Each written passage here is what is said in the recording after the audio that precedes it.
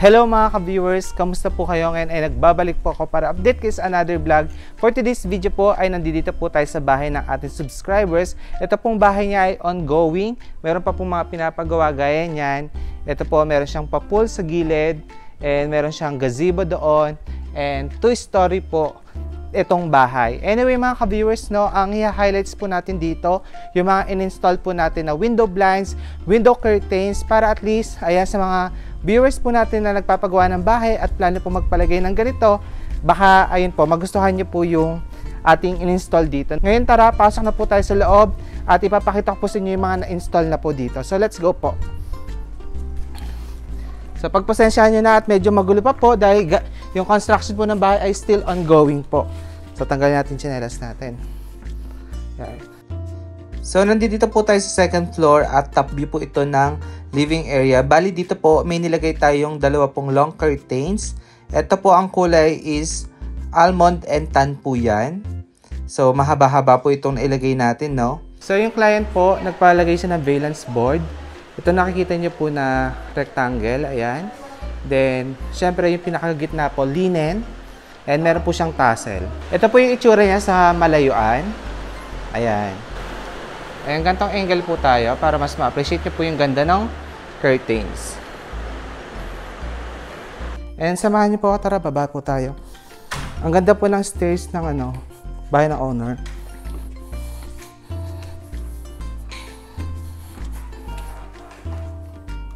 Ito yung linen po natin, no? Pakita ko sa inyo, malipitan yung fabric. Ito. Sige, post. Ito po yung valence board pagka hindi pa nailagay.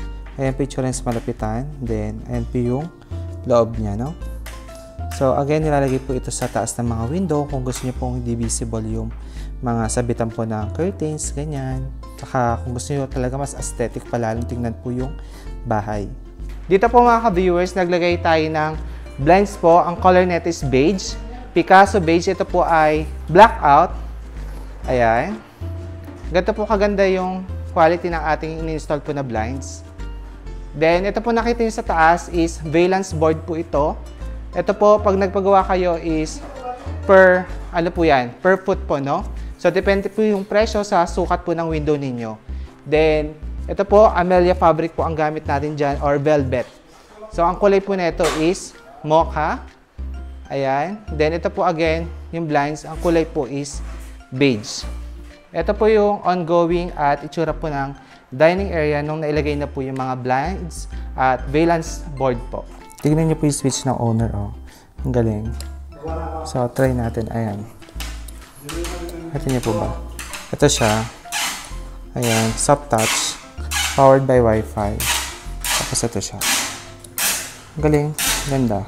No? Ito naman yung pinalagay ng owner na curtains dito po sa kanyang sliding door. Ang kulay po is almond and tan combination. And kasama na po ito pag po nag-order kayo yung installation.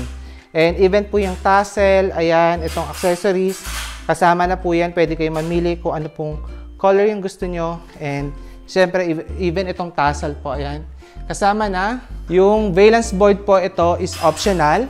Nasa inyo po kung gusto niyo po magpalagay ng ganito or pwede rin naman po uh, kung wala. Kumbaga, ito pong valence board, any design po, kaya natin gawin yan. So ito po mga ka-viewers is manual po yan ha. Kitchen area po ng owner. Then syempre doon po sa bandang sink, nilagyan din po natin yan ng window blinds. So ito mga ka-viewers, nag-decide po yung owner. Yung sa gitna po ng kanilang uh, window dito sa bandang door is ang gagamit po, Korean blinds po na blackout. At still ang kulay po niyan is beige. Tinerno po nila dito sa mga curtains nila para siya, syempre maganda po yung combination. Dito naman po sa family area po ng owner, meron po sila dalawang window dito then another sliding door papunta po sa balcony. Tapos po mga ka-viewers, kaya po na sinabi ko no, ina-assure po talaga namin na hindi po nakaside yung tela sa flooring kasi gusto po namin na hindi po kumakapit yung dumi sa curtains. So again, ito po ang family area. Napakaganda, napaka-elegante. Ang ganda po, promise. Nandito po tayo sa master's bedroom. And still, ayan na po yung mga pinalagay po ng owner na curtains. So, ayan, tinali muna po natin para hindi po madumihan dahil ayun nga po, tuloy-tuloy po ang construction sa bahay po nila. Dito naman po sa bedroom number 2, ang pinalagay po ng owner is uh, beige po na Korean blinds. Ang galing ng kama nila mga ka-viewers. So, may pull out sa gilid. Ang nice, no? Ganda. Anyway, dito po ang nilagay naman na Korean blinds. Ang color is gray naman po yan. Ito po si blackout gray. Ayan. Meron tayong binigay na pa-freebie sa owner. Ito po, blinds sa CR nila dito sa second floor. Ito mga ka-viewers, ang ganda ng TV cabinet po ng owner. Then Daikin yung mga aircon nila dito, no? Parang so far marami ako nakita dito mga aircon ang ginagamit na brand is Daikin. Ang ganda ng ceiling nila mga ka-viewers. So, super nice. So ayan, ilalagay na yung blinds. At kung napapansin nyo po yung adjustment medyo mahaba-haba. Kasi ito po ay manual.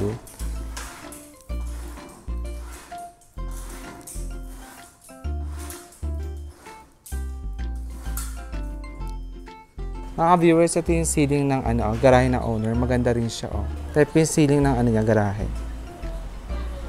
So mga ka-viewers, kung plano niyo po magpagawa sa akin, magpa-ocular, magpa-coat po na mga ganitong klase po ng window curtain sa inyong dream house, pwede niyo po akong i-message sa aking Facebook, Billy Toledo Vlog, and ayun po, pwede po natin i-ocular again ang bahay po ninyo para masukatan na, o kaya naman po, magkaroon tayo ng quotation kung magkano po yung possible na abutin. So again mga ka-viewers, marami tayong ina-offer po na color, hindi lang po ito as in, sobrang dami po, no? So again, ito pong nakita niyo sa video, ang kulay po niyan is almond and tan combination. Again mga ka-viewers, mag-PM na po kayo. Maraming maraming salamat po sa pananood. Ingat po kayo and God bless. Bye-bye!